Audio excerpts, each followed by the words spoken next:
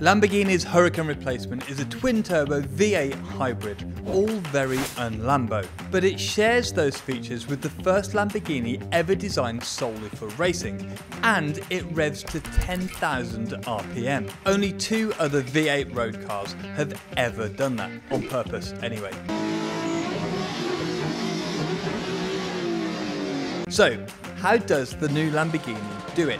Let's get into it. Lamborghini's newest engine, dubbed the 634, has been officially announced, and it's incredible. That will power the Huracan successor, which is due to be revealed on August the 16th at Pebble Beach. Supposedly, that's called the Temerario, which Lamborghini has trademarked, so we'll call it that until they tell us otherwise. But there's a problem when it comes to making a video about the Temerario. We don't know what it looks like. There aren't any official photos. So how do you make a video about a car when you can't show it? Well, one thing you can do is to get footage like this from a professional spy photographer. And if you want to do even better, you can hire a digital artist to make a rendering of what they think the car might look like based on those spy shots. So I told our producer to find an artist who could create a render of the Temerario, and this is what they came up with.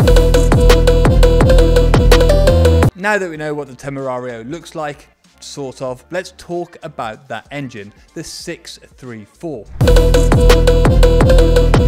and what it will be replacing. It's a huge departure from the Huracan, or for that matter, any Lamborghini. The Huracan has been around for 10 years. It's got a V10 engine co-developed with Audi. That's an updated version of the V10 from its predecessor, the Gallardo, but its roots go all the way back to the P140 prototype from 1988, the first Lambo ever with a V10. In spite of that engine's age, the Huracan makes 631 horsepower, revs to 8,500 RPM and delivers a 0 to 60 of just 2.5 seconds. That's helped make the Huracan the best selling Lamborghini of all time, with over 20,000 sold if you don't count the Urus which sold 30,000 units. But that's an SUV sharing a platform with the Audi Q7, the Q8, the Bentley Bentayga, Porsche Cayenne and the Volkswagen Touareg. And it weighs as much as a Huracan being driven by a bison. So we're gonna ignore it and get back to the real Lambos. The Huracan outsold its big brother the Aventador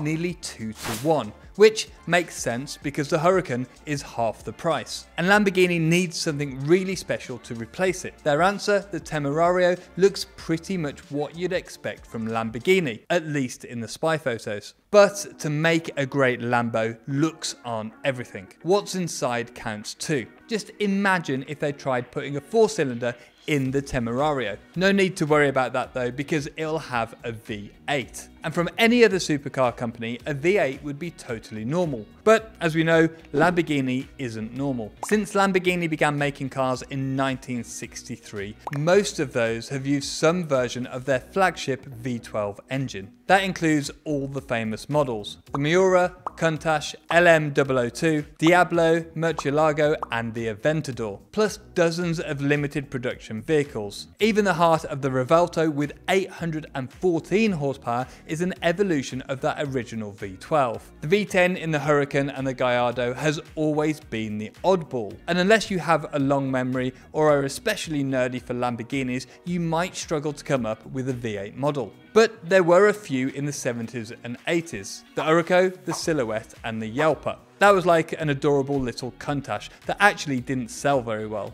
But combined, less than 1200 Lamborghinis were ever made with a V8. So the Temerario getting a V8 is a big deal. And it gets even stranger because it's a twin turbo hybrid. And Lamborghini has never done that before with one exception. Okay, hang on, we're still ignoring the Urus. Its twin-turbo V8 is a modified Audi engine and its hybrid system comes from the Porsche Cayenne. It really is the most un-Lamborghini Lamborghini ever made. And the only real Lamborghini with a twin-turbo hybrid V8 is the SC63 LMDH, designed for Le Mans prototype racing. That's also the first Lamborghini designed from the ground up as a race car, and includes their first engine designed specifically for motorsport. Apparently, Lamborghini, which has always been the crazy uncle of supercar makers, has become a serious performance engineering company. But to prove they still know how to party, they're gonna put that race engine into a road car. And it'll be joining some pretty impressive company. The 634 is one of just three production V8s capable of reaching 10,000 RPM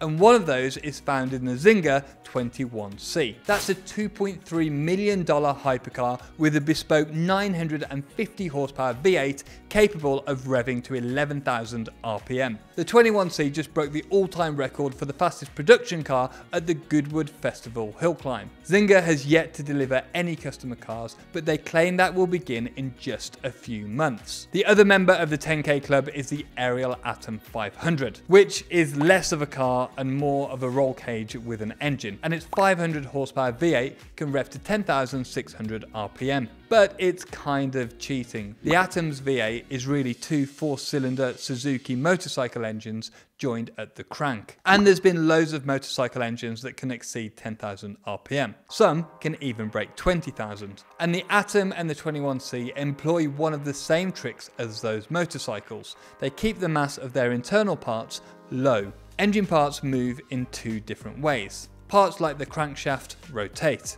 Rotating mass can be a problem, especially as that mass gets further away from the center of rotation. But a much bigger problem is the reciprocating parts. That's everything moving back and forth, like valves and pistons. When an engine is operating at a constant speed, the rotating parts are at a constant speed too. But the reciprocating parts are constantly changing speed. For every half rotation of the engine, each piston has to accelerate from a dead stop at one end of the cylinder then decelerate to a dead stop at the other end. And as the engine spins faster, the piston's rate of acceleration and deceleration increases. At 10,000 RPM, each piston has to travel fast enough to complete that entire start-stop journey about 330 times every single second. In other words, a piston goes from zero to as much as 95 miles per hour and back to zero again in three milliseconds. That constant acceleration and deceleration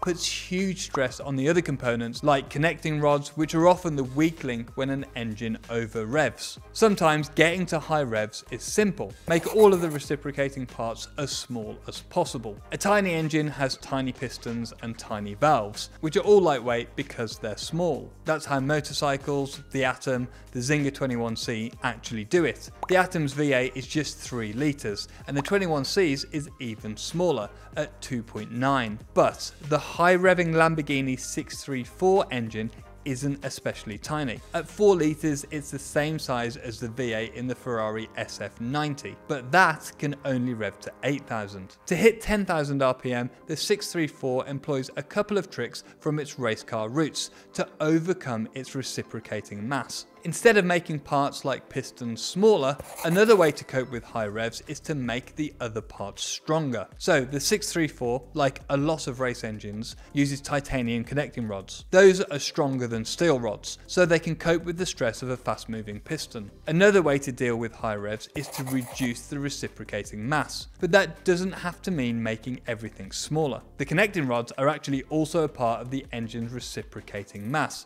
and titanium conrods are about 30 30% lighter than steel rods. That means less stress on the crankshaft, the rod bolts, rod caps and the bearings. Piston speed is another factor that limits engine speed. But the root of the problem is, once again, the stress caused by the rapidly reciprocating parts. Yet another way to reduce engine stress is to make the reciprocating parts slow down, like they would at lower RPMs. And you can do that without reducing engine speed by shortening the engine stroke. That's the total difference that the piston travels during one half rotation of the engine. The 4 litre V8 in the Ferrari SF90 has a stroke of 82mm. At the red line, 8000 RPM, each piston has an average speed of 22 meters per second.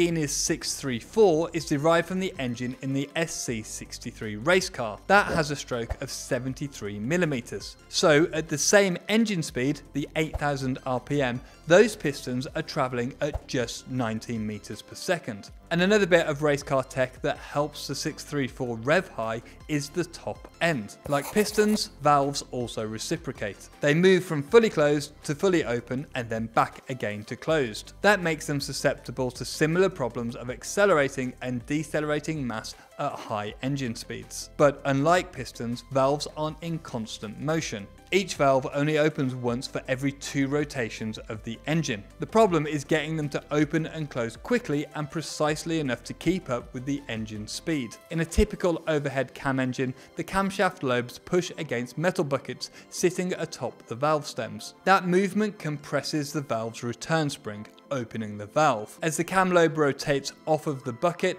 the spring re-extends, closing the valve. And those buckets are necessary because the cam lobes can't push directly on the valve stems. They're too narrow and would gouge the smooth surface of the lobes as they rotate across the stem. But the buckets add reciprocating mass to the valves. That means that the spring has to be stronger in order to close the valve, and the resistance from the stronger spring means that it takes more force to open it. Instead of buckets, a finger follower valve train uses a rocker arm that pushes directly onto the valve stem. Eliminating the bucket reduces reciprocating mass by about 20% meaning the valves can open with less force and close more rapidly. These fingers create less friction and therefore less heat. Now, of course, not everything about race engines works for road cars, so the 634 makes one major change over the SC63's engine, and that's its hot V configuration. A V engine has two banks of cylinders, each with a hot side where the exhaust ports are, and a cold side with the intake ports and most V engines have the cold sides facing each other inside the V, and a single intake manifold, and the hot sides are on the outside of the V. If that engine has turbos, those will be on the outside of the V as well. But a hot V engine does just the opposite. Those have two intake manifolds, one for each of the cold sides, which are outside of the V. And the hot sides of the cylinder banks face each other inside the V. And if there's turbos, those end up together on top of the engine, sort of tucked into the V. And one advantage of having both turbos together in the middle is that the entire engine is narrower, and so keeps its weight closer to the centre of the car. The exhaust manifolds can also be shorter, which reduces weight, and it helps get exhaust gases to the turbines more quickly. In turn, that decreases spool up time and improves throttle response. That's especially nice on the street when you aren't constantly keeping the revs up like you might do on a racetrack. The path from compressor through the intercoolers and to the intake is shorter as well. That reduces turbo lag and further reduces total weight. And in spite of the name, Hot V actually has better thermal performance. By having the intake manifolds low and on the outside of the V, they're less affected by heat from the engine and the turbochargers. And if you look closely at the 634, you'll see that those intake manifolds are even made of plastic. And that's only possible because of how good the Hot V configuration is at keeping those cool and that's the final piece to its high revving ability too. The faster an engine spins, the more heat it creates. So anything that keeps the temperature down will help it to spin faster. The sum of all the 634's parts is 789 horsepower. 158 more than the outgoing Huracan, and just 25 less than the flagship V12 powered Revuelto. Yes, the Huracan successor is losing two cylinders, but it gains a whole load of race car tech. The 634 is a huge departure for Lamborghini, but it's also a huge step forward. It demonstrates their new focus on engineering and that they're no longer just about making the flashiest supercars. And the 634 isn't just the first V8 twin turbo hybrid from Lamborghini, it's the first Lambo engine with racing pedigree. Ferruccio Lamborghini quite famously thought that motorsport was a waste of money, but does the 634 prove that he was wrong? Let me know what you think in the comments and thanks for watching.